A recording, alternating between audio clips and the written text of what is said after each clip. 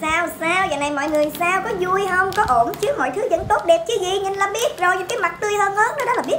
Là biết là mọi thứ đều tốt đẹp rồi.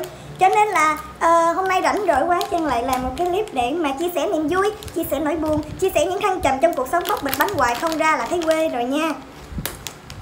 Nói chung là hồi nãy em có đăng một cái uh, Không phải hồi nãy mà là bây giờ. À, Em có một cái link một cái clip um, về tình yêu tuổi học đường bây giờ nó bây giờ sao con nít nó ranh ma không phải nó ranh ma mà nó mạnh bạo quá. Nó yêu một cái là nó dám đưa bịch bánh cho thằng kế bên ăn liền mà thằng kế bên cũng ngu quá ăn xong cái là yêu liền đó. Bởi vậy tình yêu nó thật là đơn giản đúng không các bạn? Ngân nhân dịp tình yêu đơn giản quá Hôm nay em xin được hát một bài hát. Cái gì em cũng nhân dịp được hết. Nói chung là em sẽ hát một bài Em câu vờ lại để em kỷ niệm về tình yêu của em ngày xưa. Ngày xưa em ngu lắm. Em, um, em yêu nhưng mà em không dám nói đâu. Nhưng mà nhân dịp bây giờ em hết ngu rồi. Thì em xin được kể lại cái tình yêu ngày xưa của em nhé. Mọi người nhé. Bài này chắc mọi người cũng biết, Nhưng mà em sửa lại lời một chút để cho tình hình nó được, Để cho nó phù hợp với hoàn cảnh hiện trường, ha.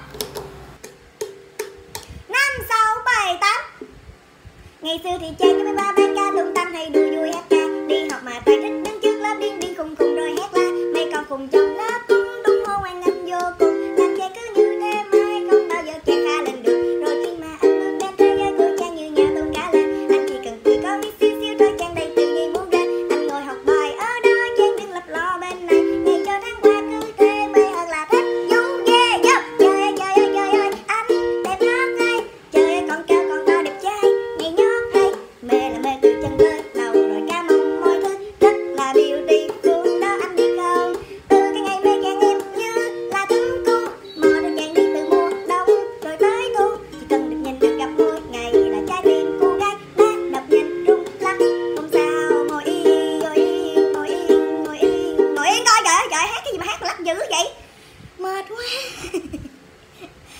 chung là khi yêu rồi thì làm sao mà ngồi yên được?